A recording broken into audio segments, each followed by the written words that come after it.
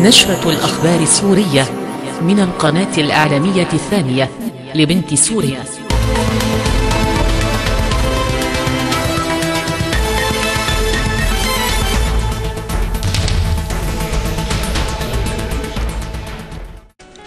Muallim El İbrahimi ile Birleşmiş Milletler Rin Suriye'deki çabalarını ve ikili ilişkileri görüştü. Muhtelif bölgelerde devam eden operasyonlarda teröristler ağır kayıplar veriyor. Suriye, Lübnan'ın Eşrefiye bölgesindeki terör patlamasını kınadı.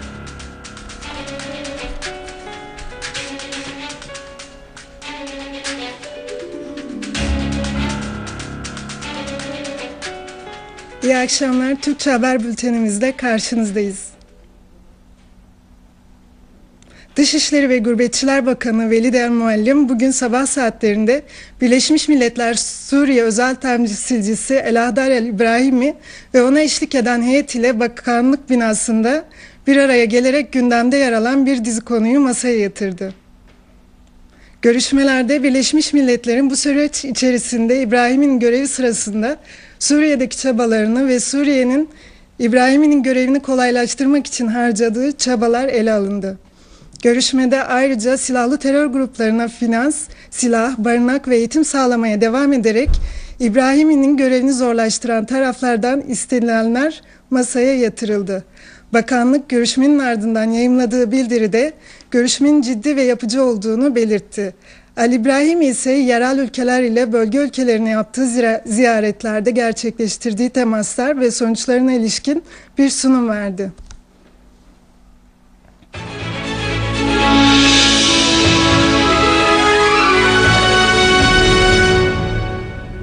Suriye Arap Ordusu Halep kentinin muhtelif bölgelerini kiralık teröristlerden temizlemeye devam ediyor. Halep kentinin eski semtlerinden olan Bustan el Kasır, Fıstık Çarşısı, Babel Nasır ve Bustan el Başa semtlerinde yürütülen operasyonlarda birçok terörist etkisiz hale getirildi. Üç havan topu imha edildi.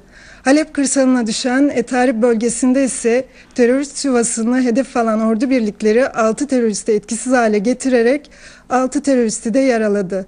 Ordu birlikleri Ancare beldesinde bir terör yuvasını hedef alarak teröristi etkisiz hale getirip ikisini yakalarken Kabbasin köyünde teröristlere ait bir cephane deposunu imha etti. Ordu birlikleri Cemal Meğer otobanı üzerinde de birçok pikabı içerisindeki teröristlerle birlikte etkisiz hale getirdi. Ordu birlikleri İdlib kırsalında ise teröristlerin kullandıkları 14,5 ve 23 kalibreli makineli silahlarla donatılmış 10 aracı içlerindeki teröristlerle birlikte etkisiz hale getirdi. Bomba imha ekipleri de teröristlerin Han Şehun yolu üzerinde yerleştirdikleri 10 bomba düzenini etkisiz hale getirdi. Yetkili bir kaynak ordu birliklerinin İdlib kırsalına düşen Seyda, Amudiye, Kefar Basim ve Babulin köyleri ve kırsalındaki mağara ve tünelleri teröristlerden temizleme operasyonlarını sürdürdüğünü açıkladı. Kaynak Seyda köyünde yapılan operasyonlarda büyük miktarda silah ve mühimmat ele geçirildiğini belirtti.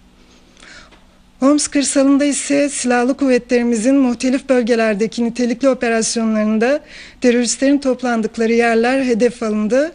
Resmi bir kaynak Alkser kırsalındaki Doğu El Buvayda bölgesi El Ganto ve kentin kuzeybatısındaki Resten'de düzenlenen operasyonlarda onlarca teröristin öldürüldüğünü bildirdi. Silahlı kuvvetlerimize bağlı bir başka birlik ise El Huvla bölgesine bağlı El Nasriye köyü ve Keferla beldesindeki Meryem'in karşı yakınlarında iki bomba atölyesini tahrip ederek üç teröristi öldürdü. Ulusal Uzlaşma Komitesi ve Hums ahalisinin önde gelenlerinin harcadıkları yoğun çabalar neticesinde bir kısmı 7 aydan fazla bir süredir teröristler tarafından kaçırılmış olmak üzere muhtelif bölgelerden 14 vatandaş kurtarıldı. Diğer yandan resmi ve sivil toplum etkinlikleri Homs'in de sevgi ve kardeşlikte yeni bir sayfa açma azminde olduklarını belirttiler.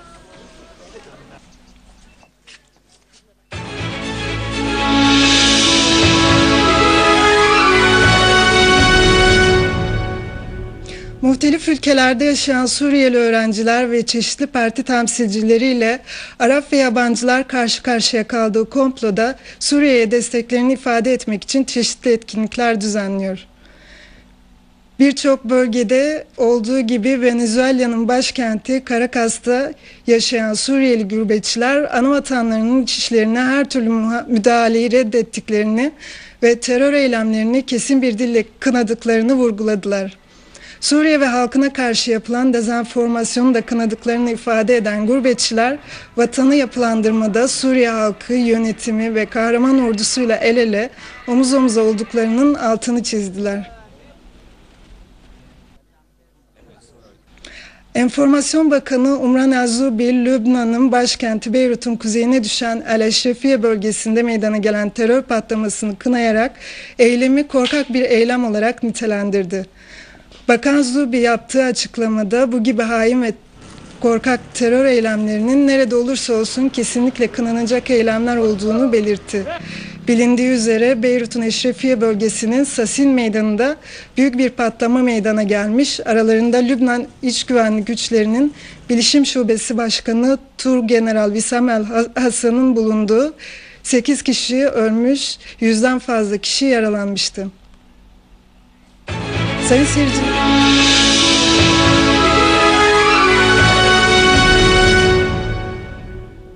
Sayın seyirciler, Ummanlı Vatan Gazetesi El İbrahimi'nin görevinde başarılı olması için terör gruplarını destekleyen ülkeleri ikna etmesi gereğine vurgu yaparken Amerikan Global Post Gazetesi ise Haleplilerin teröristlere artan nefretlerini ortaya çıkardı. Ummanlı Vatan Gazetesi BM Suriye özel temsilcisi Elahdar El İbrahimi'nin görevinde başarılı olması ve Suriye'de kanların akıtılmasına son vermesi istemesi halinde silahlı terör gruplarına para ve silah desteğinde bulunan ülkeleri bu desteklerini kesmelerine ikna etmesi ve bu bağlamda garanti vermelerini sağlaması gerektiğini vurguladı. Gazete bugünkü sayısının açılış makalesinde El İbrahimi'nin önerdiği düşünceler ve bu düşünceleri onaylayanların sayısına ilişkin çalışmaların arttığını işaret ederek Suriye hükümetinin diğer tarafların kabul etmeleri ve tam bir şekilde bağlı kalmaları halinde İbrahim'in önerisini memnuniyetle karşıladığını ifade ettiğine dikkat çekti.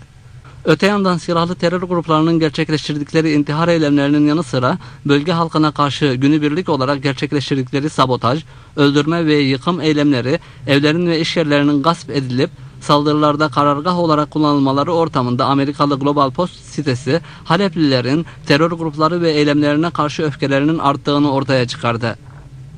Amerikan Global Post sitesi Suriye'nin ekonomi başkenti kabul edilen kentte insanların bu terör gruplarına karşı öfkesinin büyüdüğünü ifade etti. Site yayınladığı raporunda Halep kentinden birkaç kilometre uzaklıkta olan ve ahalisinin silahlı terör gruplarından kaçmaları sonucunda hayalet kent haline gelen Anadan kasabasında sözde Özgür Suriye ordusunun sadece bir grup silahının bulunduğunu ifade etti. Terör grubu elebaşının Halep'i yakma vaatlerinde bulunduğuna işaret eden site yaklaşık 3 aylık bir süre sonra teröristlerin gerçekten Halep kentinde büyük yıkım ve kundaklama eylemlerinde bulunduklarına dikkat çekti. Global Post sitesi terör gruplarının Halep kentindeki önemli tarihi ve mirası kundaklama ve sabote etme girişimlerinde bulunduklarını, kentin merkezinde gerçekleştirdikleri terör patlamalarıyla büyük bir yıkıma yol açtıklarını ekledi. Amerikan Global Post sitesi Haleplilerin gün geçtikçe terör eylemleri ve bunları gerçekleştiren terör gruplarına yönelik öfkelerinin arttığına vurgu yaptı.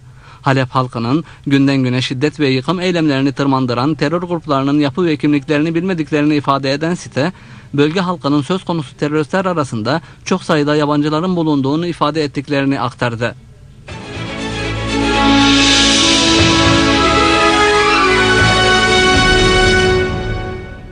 Sayın seyirciler, Türkçe bültenimizin sonunda özetleri tekrar ediyoruz. Muallim Ali İbrahim ile Birleşmiş Milletler'in Suriye'deki çabaları ve ikili ilişkileri görüştü. Muhtelif bölgelerde devam eden operasyonlarda teröristler ağır kayıplar veriyor.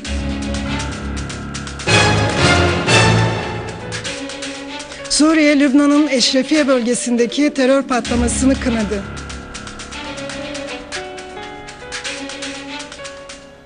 Haber bültenimizi sunduk. İyi akşamlar.